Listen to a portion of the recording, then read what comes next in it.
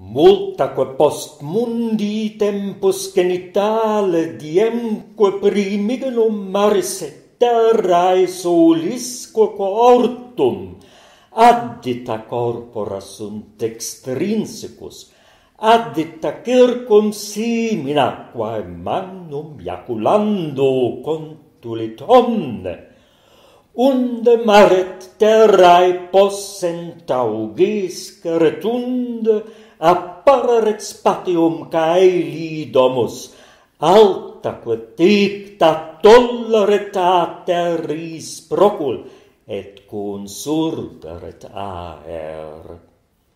Nam sua culque locis ex omnibus omnia plagis corpora distribuntur et Eta sua saiklar kilunt, umorat humorem terreno corpore terra crescit, et in innis procudunt, aetera quaeter, doniquat extremum crescendi perfica finem, omnia perduxit rerum natura creatrix ut fitubinilo iam plus est quotaturim itali suenas quam quod fluit atque recidit. Omnibus hic aetas tibet consistere ribus, hic natura suis refrenat viribus auctum nam quae cumque vidis Hilaro grandis grad auctu, paulatim quae gradus aetatis candar adultae, pluras et sumunt quam disi corpora mittunt, tum facilin venas cibus omnis tinditur, et dum nonita sunt late dispessa, ut multa remit tantet blus dispendi faciant, quam vescetoraitas. Nam certi flora recidere corpora ribus multa manus tandumst. Sed pluracidere dibent done caliscendi summum tetigire cacumen in de minuta tembuia reset robor adultum frangit et in partem peiorem liquitor aetas. Quepetenim quanto stris amplior auminatinto et quolatior est incunctas undique partis plura modo dispargit, et asi corpora mittit, nec faculin vuinas cibus omnis titituri nec satis est proquam largus exaestu ad aestus unde quia tantum suboriac suppeditar iurigitur perunt cum rari facta fluendo sunt et externi succumbunt omnia plagis. Quando quidem grandi cibus ae quod defit, nec tuditantia remcessant extrinsecus ulam corpora conficer, et plagis infestat omar.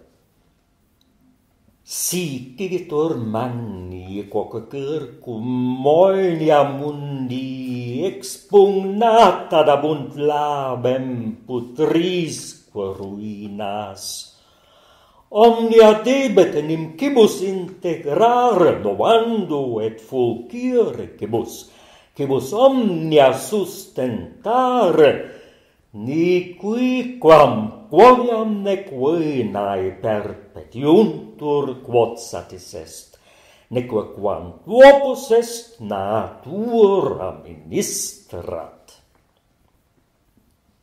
Iam quadeo fractas taetas, fita quatellus vix animalia parba creat, quae cuncta creavit saecla, Petirt ferraro in gentia corpora partu. Haut utopino renimmortalia saecla superne aurea de caelo de nisit funis in arba. Nec mar nec fluctus plangenti saxa crearunt, sed genuit tellus, iadem quae nunc alitexi. Praeterea nitidas frugis uinita colaetas ponte sua primum mortalibus ipsa creavit, ipsa dedit fitus et pabula laet qual nunc vix nostro grandiscunt aucta labor, conterimusque bovis et viris agricolarum, conficimus ferrum vixarvi suppeditati, usquade o parcunt augent augentque laborem iamque caput quassans grandis suspiratarator Griberius in cassum magnus cegidis laboris.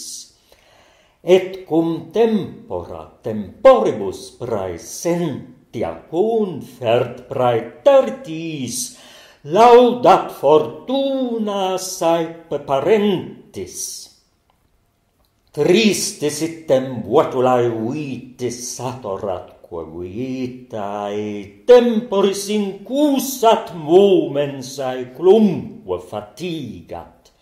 Et crepat antiquum genus ut pietate repletum per facil angustis tolerarit finibus aevam cum minores et agri multo modus ante ritem. Nec tenet omnia paulatem tabescaret irat capulum. Spatio aetatis tifessa vetustu